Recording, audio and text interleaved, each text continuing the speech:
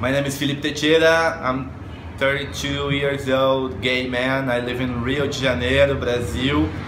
And the life of a gay man here, it's uh, like all the Brazil, you need to be careful, but you are, we are improving to be open, but it's also scary. You need to think about what, where, where you go, how people you treat you, the violence is real. And I'm a gay man white, and for people who are poor, transgender, black, uh, women, it's more difficult than than for me, and it's very dangerous sometimes. How are you feeling about the Olympics being here, and how is that affecting your daily life?